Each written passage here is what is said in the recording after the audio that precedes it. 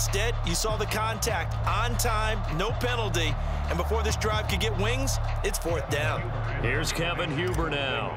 And surprisingly, this is the first punt of the game for either team.